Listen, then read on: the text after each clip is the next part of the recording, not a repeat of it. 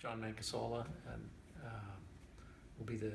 Chief Executive Officer of the McConnell Foundation starting January 1st of this year. Uh, Be replacing Lee Salter, who um, is uh, not completely retiring from the foundation, but um, is uh,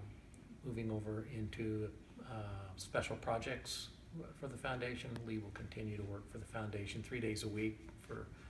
the next couple years, so we're certainly thankful that we still have uh, Lee's uh,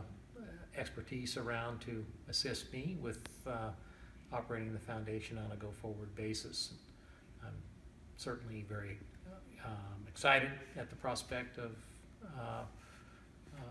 leading the foundation and also really very humbled that the, the foundation board would, you know, choose me uh, to, to lead the organization and um, with that comes the feeling of uh, a great sense of responsibility to, to carry out the good work of the foundation and um,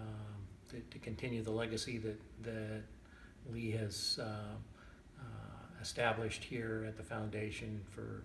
for everything that the foundation has been able to do for the local community and all the communities that we serve.